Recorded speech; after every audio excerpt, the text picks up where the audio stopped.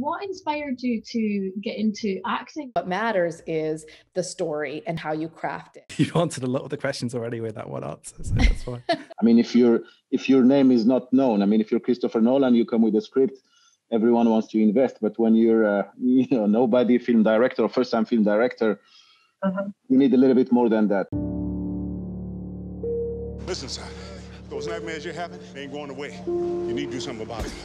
I don't know if it's the right time for me to leave. You gotta trust me here. Morocco's beautiful. In Morocco, we have found something incredible, and we have been granted access to excavate. We have to be careful. We are very close to the border. No! Don't move! Please don't shoot! Please! Please don't!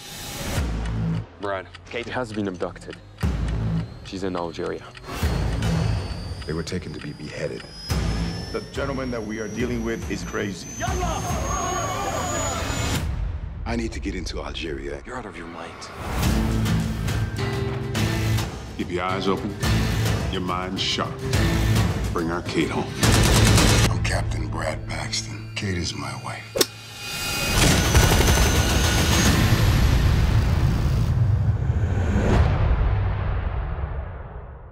Please subscribe to us on YouTube and follow us on your favourite podcasting platform. Thank you. Hi there, welcome to Film Forums. My name is Aiysha Jebali and I have with me a special guest today. Would you like to introduce yourself?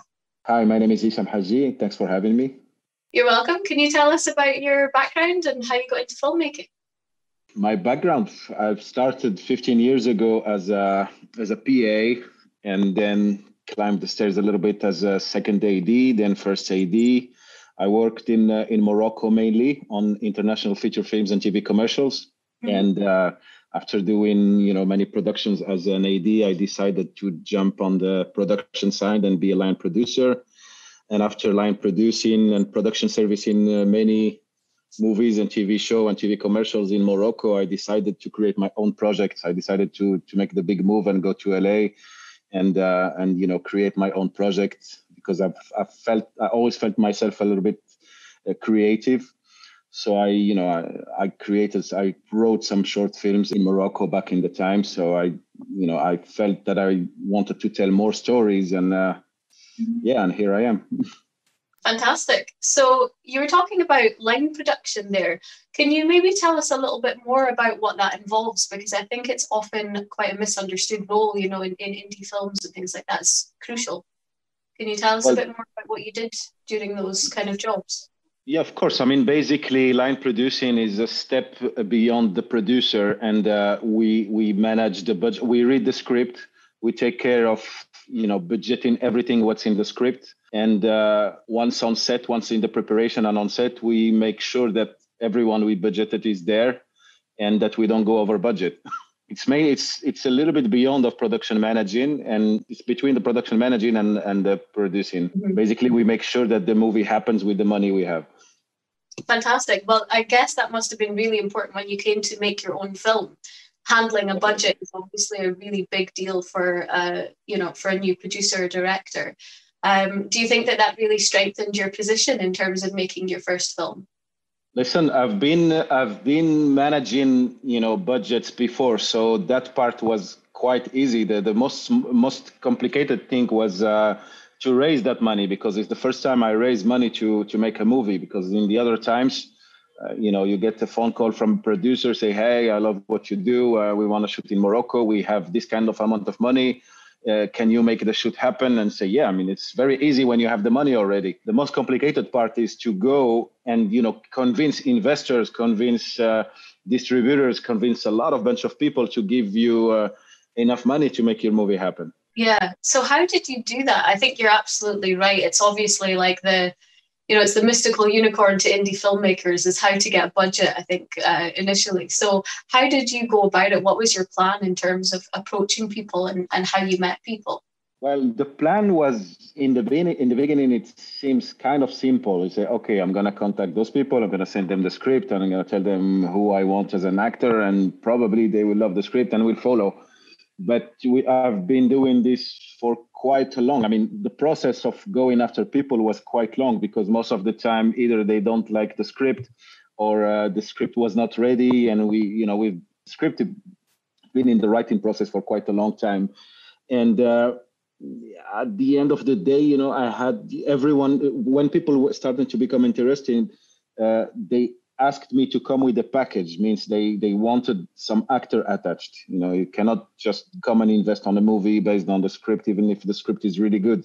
I mean, if your if your name is not known, I mean, if you're Christopher Nolan, you come with a script everyone wants to invest but when you're a you know nobody film director or first time film director uh-huh. you need a little bit more than that so the approach was you know quite personal so i've i've invested everything that i had. I mean i've been working for 15 years and uh, all my saving i put them in the in the movie to uh, to, to try to attach a, a first actor. And then when we i was in the process of of having an actor I showed the email to my investors and everything. So I told them, okay, we, we trust me, we're having this kind of people, actors, and uh, and then you know people started to become enthusiasts, and uh, so I raised some fund privately mainly, and mm-hmm. uh, and uh, you know I got Voltage Pictures attached when they uh, when they read the script and you know so that I could have some interesting names and they took care of uh, of the international sales. So they, you know, they were selling the movie, pre-selling the movie almost everywhere, and that gives confidence to my investors because they knew that we will be selling this kind of amount of money. That means they will get their money back. It, it was a lot of. It was a very difficult uh, financing uh, structure, and uh, I mean, it was it was a little bit of financing nightmare as a as a filmmaker, but at the end, uh, we've made it. Yeah, yeah, absolutely. I mean, the fact that you put your own money in as well, I think, kind of adds a bit more confidence to if you're willing to take that risk. Um, so you talked a lot about you know working in Morocco. My father is actually from Tunisia, um, not too far from me. Um, so how was it in terms of filming there and the difference between that and making the move to LA?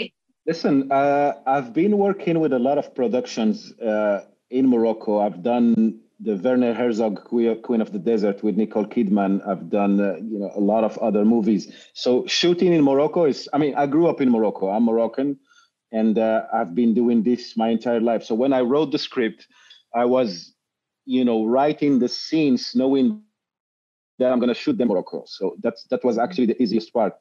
Uh, in the movie, we have around 25% or 30 percent of the movie happening in in uh, New York and Washington. Uh, we shot New York and Washington in Morocco, some of it in studios and some of it in uh, you know we in in houses that exist in Casablanca, for example. So the only thing we shot in America is the wide shots, if the drone shots and you know the the establishing shots everything else was shot in Morocco. Because if we had to come in LA, uh, in in uh, New York, and shoot the movie in New York, it's it's a different budget. But you know, it's like it's an independent movie. We had the very very little money to make it happen. Uh, so we have to we had to uh, we have to check what's the, the the most effective solutions and the most effective situations were to shoot the movie. Yeah, I mean Morocco is a beautiful place to shoot anything. Anyway, I think it's it's a, the reason that it's so popular for so many big blockbusters as well for shooting on location. Um, it's definitely a very beautiful country, um, as is Tunisia and the whole of North Africa, in my opinion. Definitely, I've shot in Tunisia for also. It's it's beautiful. I love the Tunisian people. okay, cool. I'll, I mean, I'll take that. um, yeah, I I love North Africa. In terms of um, your story and your script development, what was your approach to that? Uh, so the script, I had the idea to write a script. Actually, I have a friend, a high school friend of mine, who lost his sister in a terrorist attack in Morocco. She was a very uh, not in Morocco. I'm sorry, in uh, Burkina Faso in uh, Africa. She was she was a photographer and she had a mission assigned by uh, Amnesty International. So she was just there at the lobby having a beer with the crew, and uh, all of a sudden there is this group of people who came in and start to shoot everyone. And uh, when this happened, I mean, it it shocked me a little bit because you you know you don't used to see your friends killed by terrorists uh, yeah. in our part of the world. and I decided to write a story, uh, uh, to write a movie, and explaining. You know, it's like a little bit making the difference between uh, Islamist and Islam, and show that Muslims are not terrorists, and yeah. also you know make it in the most you know in a, in a great way where you know around a love story, around some action, and explain a little bit to the international audience that you know, uh, we could be from this area, but we're not those people. We could be religious, but we're not those people. And and at the end, you know, um, it was quite um, uh, political. You know, I've been talking about the political aspect of uh, the area, the, the problem between Morocco and Algeria, the Sahara, the you know uh, CIA, go, U.S. government, and you know not it's not everyone that uh, what we think it is. Yeah, no, I I completely agree. I think it's a very serious issue that you're you know you're bringing to life in a cinematic way, but it is still very real in the sense that you know those things are happening in North Africa now. It was less common before. I mean, I I remember before the the Tunisian Revolution, for example, there was never any mention or or even news of that type of thing happening, and then obviously, you know, those shootouts happened in Tunisia as well, um, and I I visited not long after the revolution and I got caught in like the crossfire between the military and some rebels or whatever. Yeah. Um, and it was actually in like central Tunis. You know, you wouldn't expect that. You know, in, in such a busy place, but there was tear gas bombs and shooting and everything, and I basically just ran into a, a taxi phone and just took cover.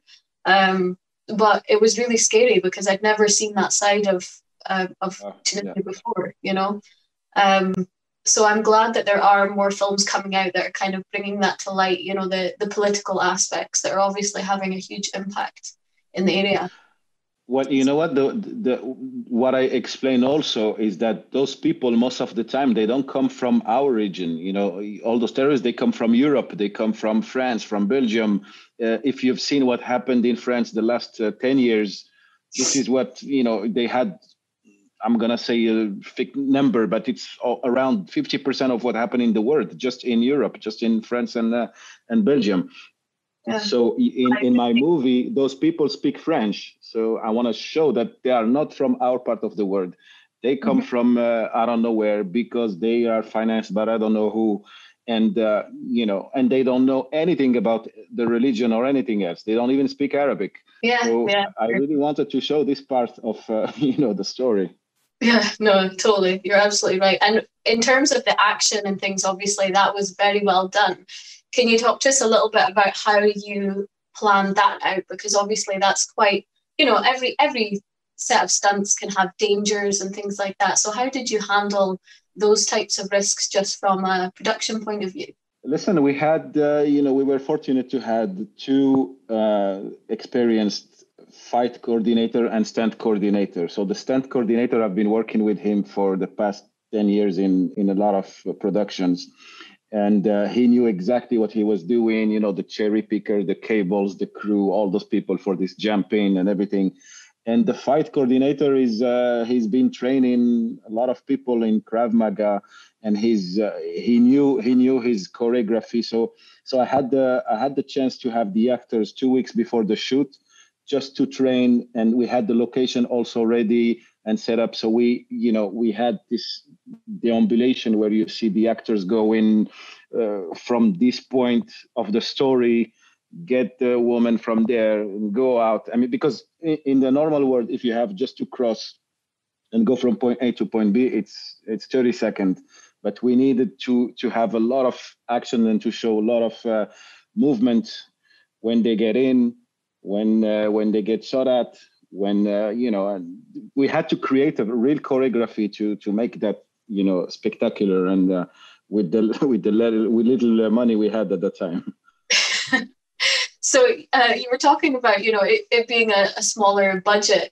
Um, what were the ways that you made your money go further? Because again, I think that's something that indie filmmakers really struggle with is how to really stretch out their money. You mentioned one thing being that it was cheaper for you to film on location in Morocco than it was for you to film in the US. were there any other uh, decisions that you took in order to save so or to stretch the budget further yeah definitely i mean uh, you know when you start as a first time director you know f- to be honest with you we we first were thinking to make it with uh, you know um, smaller actors. Mm-hmm. but once you get once you get an actor you're so happy you're so enthusiastic and the casting director and the, the agent propose other actors and say oh wow i cannot not have this one. If if he wants to work with me i want to work with him. And then actually what what we did it was the opposite. So we were going with a smaller budget but when you have andy garcia you cannot say no uh, and and you, you just say okay i'm i'm i'm going to manage to you know find the find the money somewhere. And then you go to your friends and and investors and everyone and say i have andy garcia and you know this is the budget and we can make it back very easily. So so people are enthusiastic and, and invest. But the mm-hmm. production part the production part we had to compact everything so we can be able to have these actors. You know what i mean? Because because i would have loved to spend more in production and have more time to shoot and have you know more explosions more gunshots more chase. But unfortunately we had you know a very small amount of money to make all that happen. So we had to compact the shoot. We had two camera all the times. Uh, we were shooting almost two units uh, all the t- two cameras all the times. So instead of shooting for example for 10 on 10 weeks we shot on five weeks only. Uh, we uh what else we did? I mean you know all we i used some locations from my friends houses uh the i mean the desert when you go to the desert it's the desert so we shot a lot in the desert. We had to build i mean we did some building we built some like for example the boxing scene we built all the boxing stage uh, on a stage. And uh, as, as a producer, that was actually the easiest part because I knew how to compact and make everything uh, cost efficient. Yeah, absolutely. I think that's the value of having that line production experience and knowing already having all of those connections in place so that you can um, stretch your budget further and those little tricks and things like that that you can exactly. do to make your money really work for you, you know. Um, and I think a lot of first time directors or even first time producers, if they don't have that experience of handling a budget and making a business plan for their film, then they might struggle. They might, you know, get to post production, for example, and realize that they don't have any money for the rest exactly. of it. Exactly. Yeah, definitely. So, um, and also the also the experience of being uh, you know a former first assistant director was really helpful because I could compact the the schedule and you know I, I knew that this scene will need only three hours and this one need maybe two days. So I was really confident that I would finish the movie in five weeks with uh, with two cameras. Yeah. So did you go to film school or did you just did you come up entirely from experience? To be honest with you, I've done a film school in Canada uh, when I was 21. You know, it was just a year and a half. Uh, you know, we knew the we learned the basics but to be honest, I felt that my film school was the first movie I worked on when I was a trainee. Your experience as a first AD also helped to prepare you for this filmmaking. Journey. Definitely, yeah, definitely. I mean, being a first AD, when you when you work as a first AD, you know every aspect of a film set. You know the schedule. You know how to manage the actors. You know, I mean, you know almost everything on set. I mean, mm-hmm. so it was definitely helpful uh, to. Uh, I mean, to, to compact the movie and be able to shoot it in five weeks that for one and also to uh, to do a proper schedule and proper uh, you know breakdown. Mm-hmm. so you you you use only what you need and you there is no spend of money on anything that we don't really need. Yeah. And when you were talking about your cast as well obviously you were very happy and proud of the cast that you managed to get. Totally understand. Amazing cast in this one um, how did you go about finding them? Did you contact casting directors yourself um, and have them take care of it, or did you deal with the agents directly? No, I, I contacted the cast. I've been introduced to a casting directors by uh, by a dear friend of mine, and uh, so casting director was Nancy Foy. And Nancy was, you know, when I met her the first time, it was a year before we really started the process of getting the actors so I met her the first time. I sent her the uh, the script, and she was not really. Uh, she liked the story, but she didn't feel that the script could go uh, with the actors I wanted.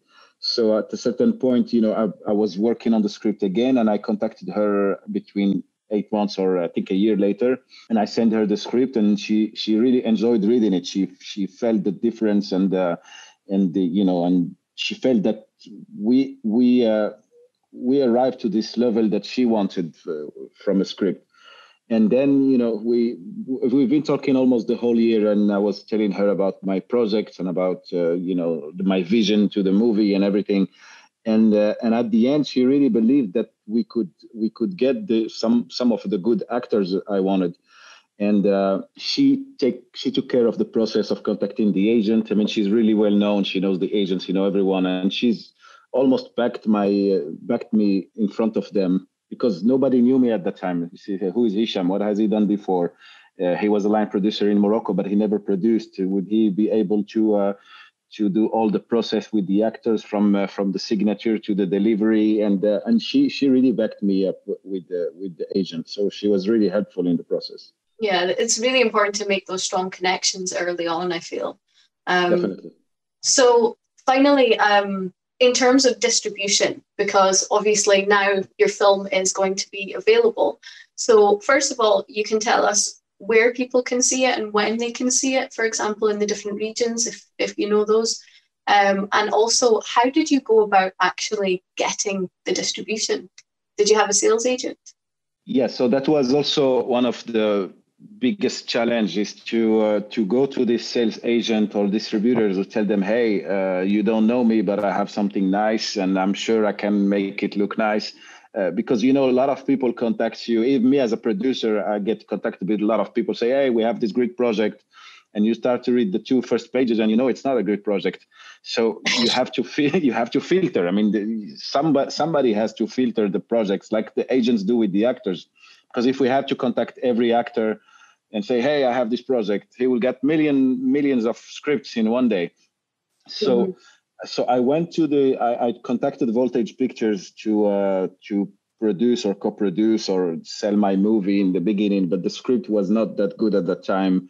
And uh, when I really felt that the script was in a good position, and I was going to make offers to the actors, and you know we had the good feedbacks from the actors so they they they got attached to the project, and uh, to be honest, they are the one who uh, who did everything, like sailing internationally, contacting Saban for the U.S. distribution.